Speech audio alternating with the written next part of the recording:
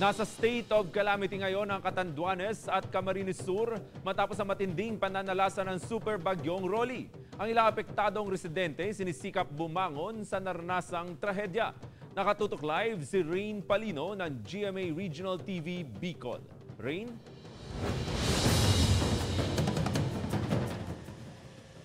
Said bilyon-bilyong pisong halaga ng danyo sa agrikultura at infrastruktura ang naitala sa iba't ibang lalawigan ng Bicol matapos manalasa ang super bagyong Rolly. Sa mga larawang kuha ng Office of Civil Defense Bicol, makikita ang tindi ng epekto ng bagyong Rolly sa Catanduanes. Nakapagtala rin ng anim na casualty at 290 na sugatan sa probinsya. Nanawagan din si Governor Joseph Cua sa social media na nangangailangan ang mga residente ng bigas, damit at construction materials. Sa tala ng Office of Civil Defense Bicol, nasa 27,883 na pamilya o 105,519 na individual ang apektado sa rehiyon. Umabot naman sa 160,559 ang nasirang bahay. 132,702 ang partially damaged habang 27,857 ang totally damaged. Bukod sa kabahayan, may mga nasira ring paaralan at ospital.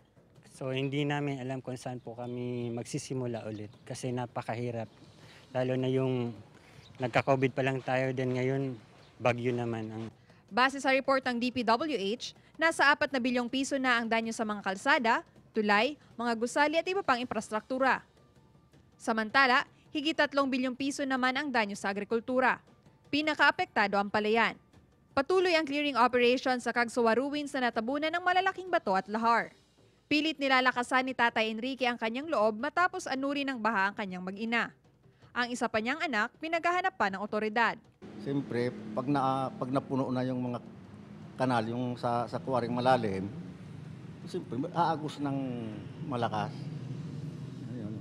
Tapos, bababaw na mo, siyempre matatabunan yung ng mga buhangin. Si Tatay Zaldi, hinuhukay ang tricycle na natabunan ng mga buhangin. Pasalamat niya dahil sa kabila raw ng sinapit ng kanilang bahay, ligtas ang kanyang mag-anak. Wala na akong balak na tumira dito sa nangyaring dito. Kung halimbawa ka, kung may dumating man para sa damage sa bahay, yung maratingan man ako. Tanging bubong naman ang natira sa bahay ni Tatay Romeo. Sa halos tatong dekada niya raw na pagtira sa Purok 7, ngayon lang nangyari ang ganitong trahedya. Sa lahat ng typhoon na dumaan dito, ito ang pinaka kwan talaga, disaster. Hindi na yata ito disaster eh. Kuan ito eh, dilubyo yata. Then na, alis kami. Punta kami doon sa isang anak ko. Kasi iba ito eh, papatay ng tao to talaga eh. Idedeklara ng no man's land na Purok 7 San Francisco matapos ang nangyaring lahar flow.